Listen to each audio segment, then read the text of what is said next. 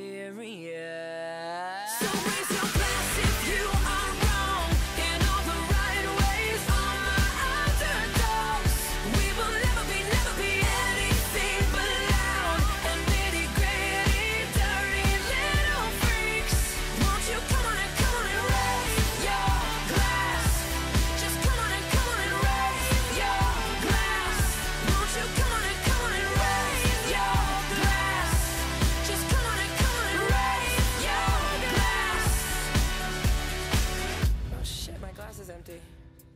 That sucks.